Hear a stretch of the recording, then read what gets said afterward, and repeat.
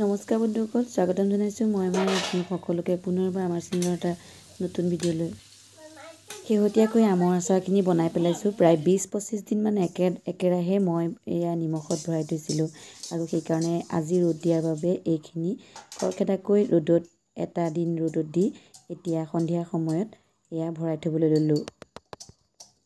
বহুদিনেই হ'ল যিহেতু আমৰ আচাৰ এতিয়াতো আমৰ আম পকিবৰ হ'ল। এতিয়া আমৰ আচাৰ এনেদৰে নিমখত ভৰাই থ'লেহে বনাব পাৰি। সেইকাৰণে শেহতীয়াকৈ বাকীখিনি বনাই পেলাইছোঁ। প্ৰথমতে এতিয়া তেলখিনি গৰম কৰি ল'লোঁ। তেলখিনি গৰম কৰি লৈ হালধি আৰু মছলা সৰিয়হ পিচি লৈ হালধি জৰ্ণি গুটি মছলা গুটি এনেকৈ দি পেলাই যিখিনি আছিলে ঘৰত সেইখিনিৰে খৰখেদাকৈ মই আচাৰখিনি তেলত দি সামৰি থ'লোঁ। যিহেতু ৰ'দটো সদায় দি নাথাকে সেইকাৰণে এনেদৰে খৰখেদা কৰি পেলালোঁ। আমখিনি প্ৰায় পাঁচ কেজিমানেই হ'ব। সেইখিনি সেইকাৰণে এনেদৰে ভৰাই পেলাব খুজিছোঁ। নিমখত ভৰাই থ'লে এনেদৰে আমখিনি বহুত দিন ভালে থাকে।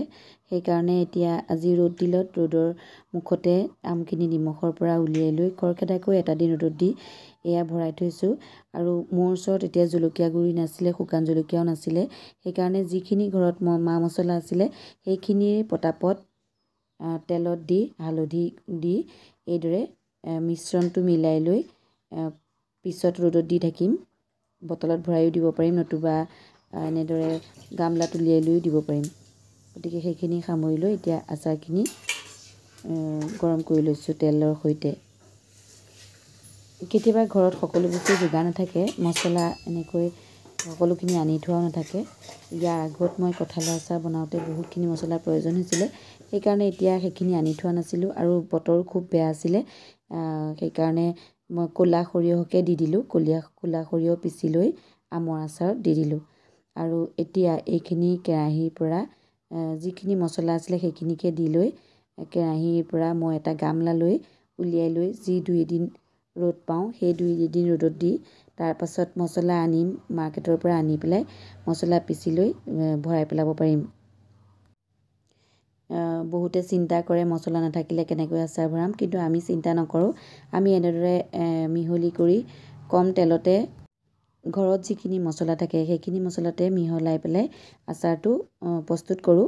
তাৰপাছত বাকী ভিনেগাৰ জলকীয়া গুড়ি সকলোখিনি আকৌ মিলাই পেলাই দিব পৰাকৈ সাজু কৰি ৰাখোঁ।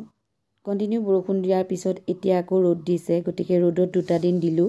তাৰপাছত বজাৰৰ পৰা এয়া শুকান জলকীয়াও কিনি আনিলোঁ। তাৰপাছতে জিৰা গুটি ধনিয়া ধনিয়া গুটি এইখিনি নাছিলে এইখিনিও কিনি আনিলোঁ।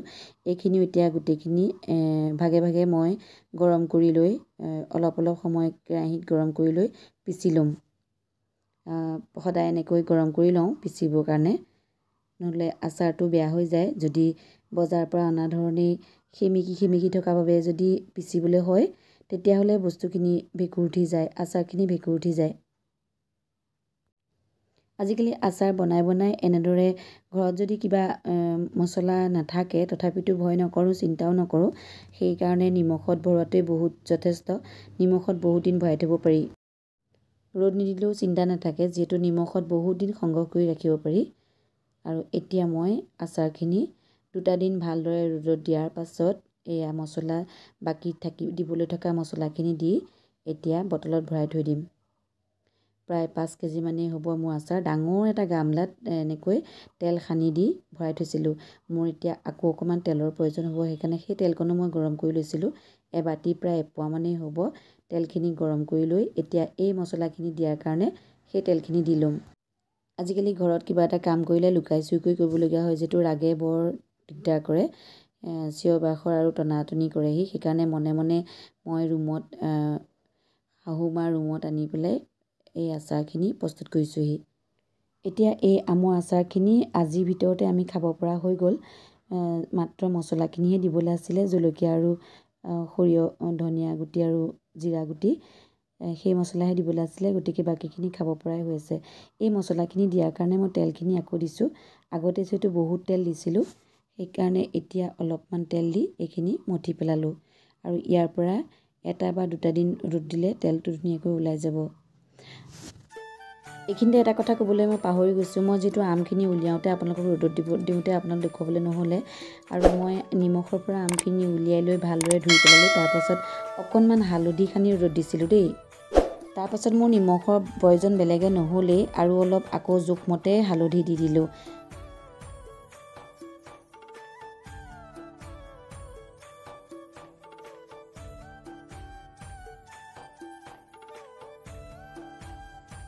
মই আগতেও কওঁ আমি আচাৰ বনাওঁতে সদায় লক্ষ্য কৰিব লাগে যাতে বটলটোত অকণমানো পানী থাকিব নালাগে। বটলটো ধুনীয়াকৈ ধুই পখালি ৰ'দত দিব লাগে। আৰু চামুচখনো যাতে তিতা হৈ থাকিব নালাগে বা হেতাখনো যাতে তিতা হৈ থাকিব নালাগে। আৰু বটলত ভৰোৱা চামুচখন কেতিয়াও টোপাল পৰি পানীৰ টোপাল থাকিব নালাগে। নহ'লে আচাৰখিনি তৎক্ষণাত ভেঁকুৰ উঠি যায়। আচাৰ আমি কম তেলত ভৰাই থ'লেও কেতিয়াও বেয়া নহয়। যদি ৰ'দত দিয়া বা নিমখত দিয়া হয় আৰু পানীৰ ভাৱ নাপায়। এই আচাৰখিনি এতিয়া আমি খুব সোনকালেই খাব পৰা হৈ গ'ল। আৰু যদি ৰ'দতো দি থাকোঁ একো দিগদাৰ নহয়। আৰু এনেও মাজে সময়ে আচাৰ সপ্তাহৰ মূৰত বা মাহেকৰ মূৰত বা পষেকৰ মূৰত আচাৰৰ বটলখিনি প্ৰায় ৰ'দত দিলে ৰ'দত দিলে খুব ধুনীয়া পক উঠে আচাৰখিনি। বহুত দিন বছৰ ধৰি একোৱেই নহয়। আৰু আমাৰ তেনেদৰে এই আচাৰখিনি সদায় বাৰ মাহে আমাৰ আচাৰ থাকেই।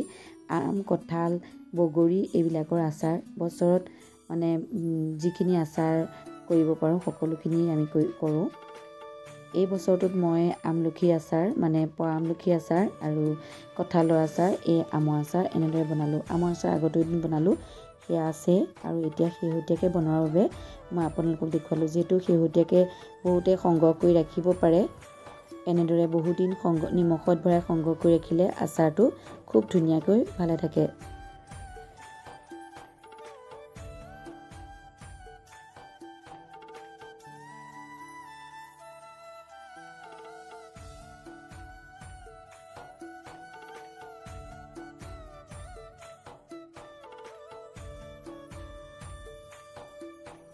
বতৰ বেয়া হ'লে বা ঘৰত মছলা নাথাকিলে মা মছলা নাথাকিলে তেল নাথাকিলে বহুতে চিন্তা কৰে আমখিনি কি হ'ব বা আচাৰখিনি কেনেকৈ বনাম। সেইদৰে চিন্তা কৰিব নালাগে। এনেদৰে পিছতো কিছুমান কাম কৰিব পৰা আমাৰ সুবিধা থাকে। গতিকে এই প্ৰচেছবিলাক ল'লে আপোনালোকেও কৰিব পাৰিব এনেদৰে আচাৰ বনাব পাৰিব বহুত দিন ভালে থাকিব। ধন্যবাদ।